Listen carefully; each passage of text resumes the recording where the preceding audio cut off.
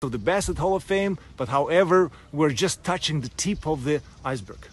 Thousands and thousands of young amateur and professional athletes keep boxing alive or lose their life as is happening unfortunately every year. Yet many have no security, no education or healthcare. The governing bodies, managers and promoters, you know who they are, never think about the well-being of the athletes, especially in their life after boxing. Life after sport is much longer than you think. It's a must to help these young people to prepare for it and change the current system of the sport.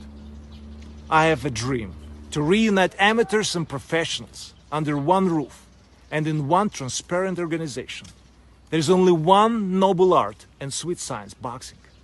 There should be only one association that accompanies the athletes and not the one that instrumentalizes the athletes.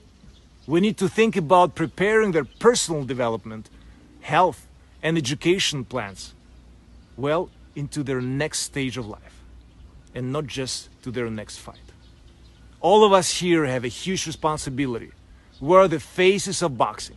It's up to us to come together and build the future of boxing so that our noble art remains the most famous of all the sports.